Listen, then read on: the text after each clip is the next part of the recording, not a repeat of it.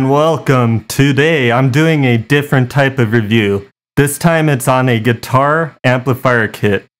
It's a clone of the famous Marshall JCM 800 and it's made by the KLD guitar company that you can build for less than $300. And in case you were wondering, if you can see here, the numbers all go to 11. Look, right across the board. 11, 11, 11, and 11.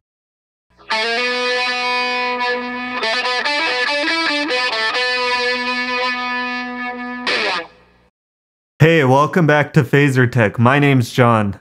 So, when it comes to guitar amplifiers, solid state amps and digital modelers have come a long way over the decades. But if you want the absolute best tone, tube amplifiers still reign supreme, which is one reason why DIY kits have become increasingly popular recently. Earlier this year, I built one for myself and was very impressed with its sound, so I decided to do a review on this 25 watt clone of the famous Marshall JCM 800 amplifier that was popular in the 80s for hard rock and metal. The JCM is known for giving a massive high gain tone that's raw and in your face, but it can also do great cleans as well despite only being a single channel amp. So I'll start off by talking about my motivations for buying this kit and also talk about my experience I had building it, since there were a few issues with it, but nothing that couldn't be solved with a little extra effort. Then I'll go into the specs and features of this particular amp, and finally I'll play some more sound demos. There's a lot of details to go over, and I'm going to go through it pretty quickly, so if you'd rather skip that part and go straight to the sound demos, I'll leave a link in the description below. Let's start by talking about the brand that makes these kits. KLD Guitars is a Chinese based company that sells affordable guitar gear, and they offer a number of kits that are clones of some of the most iconic amps such as Fender, Marshall, Mesa, Matchless, and more. The reason why I bought this particular kit is because the two tube amps I currently own are both clean amps, one of which is a Fender Deluxe Reverb reissue. It's a great sounding amp and an excellent pedal platform, but I also wanted to have a true high gain amp to get better overdrive and distortion tones. Originally, I was planning to build one from scratch and base it around schematics I found online. But then I came across these kits from KLD and decided to try one as my first build. My prior projects have mostly been with microcontrollers and low voltage circuits, so I figured it would be better to start with a kit. Also, this means I wouldn't need to spend so much time in the design process and shopping around for the correct components. Cost was also a factor since buying the transformers alone would already be approaching the cost of this kit. So it's actually a really great deal at only $160 for the kit and around $50 for the metal enclosure. The price of tubes can vary, but I was able to find some for around 60 bucks used on eBay. That means the total cost for a real high gain tube amplifier came out to less than $300. That's a great deal if you don't mind getting your hands a little dirty and learning something in the process as well. Now there are two versions of this kit. The JCM25P is partially assembled and all the components are soldered on already, while the JCM25PC version requires you to do all the soldering yourself. This is what I bought since I wanted to do everything myself. Either way, you'll have to solder all the wires to the board, switches, and transformers. So I don't recommend this kit for someone who doesn't have any soldering experience. Also, keep in mind that tube amps contain potentially lethal voltages, so don't attempt this unless you know the risks and always remember to drain the caps before handling the circuit. Also, before powering on a custom tube amp for the first time, it's generally a good idea to use a current limiting device to make sure there's no shorts or major issues before plugging it straight into an outlet. I'll leave a link in the description to a good video that goes over how to build a simple current limiting device using a light bulb. It might not be as necessary with this kit if you're careful to follow the schematics and instructions exactly right, but it still might be a good idea. Now let's talk about the experience I had building this and issues I found with it. For the most part, the kit was pretty straightforward and what I expected it to be. The PCB is clearly labeled with not only the component values printed on it, but it also contains symbols of how the shielded wires and components should be orientated. It seems KLD made sure to make it as approachable as possible for people of all skill levels, and I applaud them for that. They also included several PDF documents with a variety of schematics that are easy to read. However, I did notice an error in how the output transformer wires were connected to the circuit in the schematic. It seems the specific model or source of the output transformer changed at some point because the schematic has the green and yellow wires labeled backwards compared to how the actual transformer was labeled. Each wire on the physical transformer came with a sticker label indicating its function, so I just followed the stickers instead of the schematic. Other than the green and yellow transformer wires being labeled backwards, the rest of the colored wires on the schematic were correct. But the biggest problem I encountered with this kit was actually a bit of a pain to deal with. The metal enclosure is pre-drilled with holes that you would expect to fit the PCB, but there are several holes that don't line up. In order to make it work, you either need to drill new holes in the metal enclosure, drill new holes in the PCB, or a combination of both like I did. I didn't actually drill new holes in the PCB, but rather extended the existing ones. And after drilling new holes in the enclosure, I was able to get the board mounted. Also, KLD did not provide enough hardware to screw in all the holes into the board, so I had to go out and get that myself. It wasn't too bad of an issue for me since I already had the tools and drills, but this could be a potential deal breaker for some. I really hope KLD is able to correct these issues because I found the kit to be well thought out for the most part, except for this glaring issue. I believe part of the reason for this is they're trying to make this single metal enclosure fit all of the different kits they sell. The enclosure has room for another tube that wasn't needed for this particular build, and it has two front potholes that weren't used as well. It seems a mistake was made when trying to accommodate for all of these different models.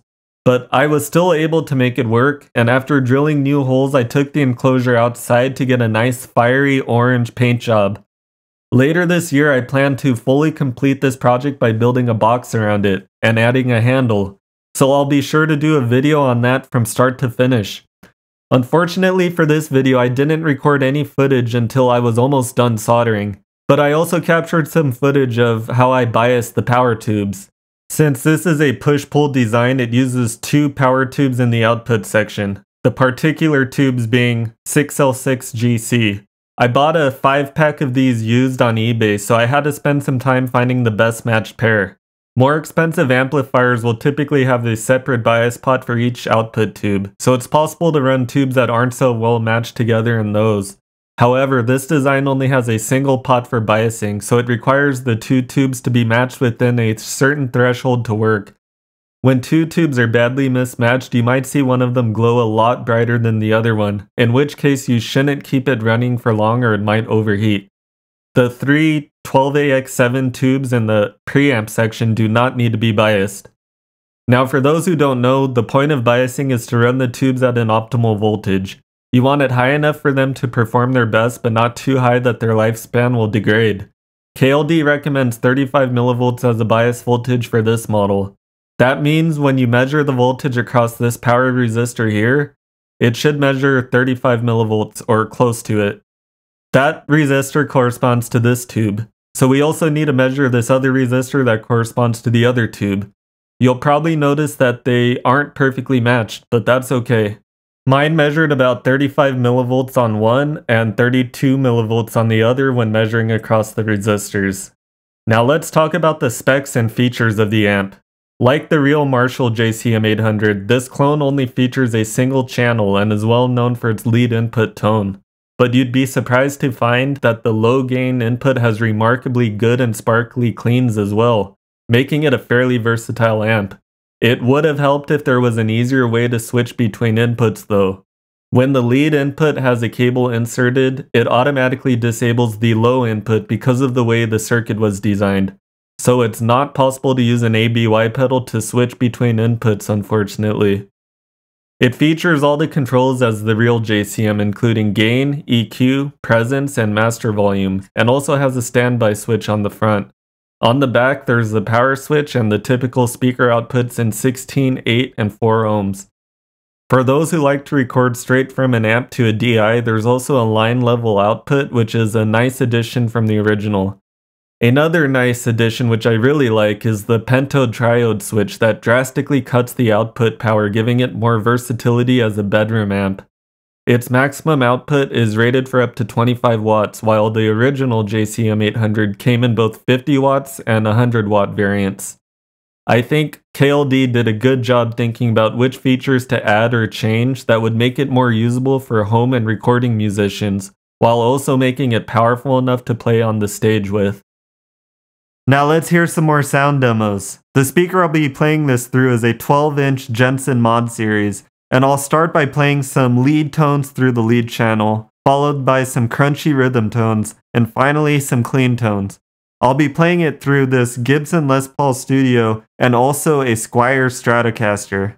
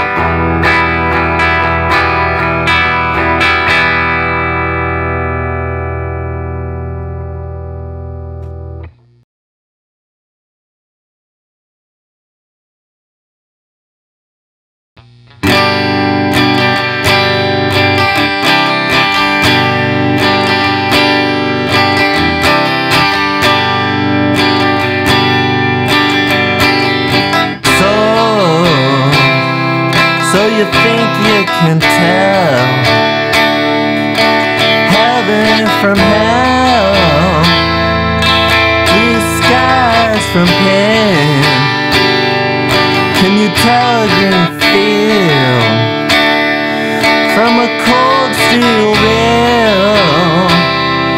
A smile from a veil.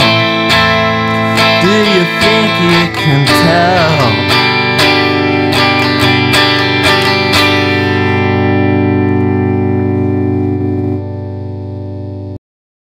And that's a wrap. If you enjoyed this video, please like and subscribe so you can get notified when new videos are released. I plan to do more videos soon on DIY guitar gear, including a guide on how to build your own pedals from scratch. So, thanks again, and if you have any questions or comments, please leave them below. See you next time.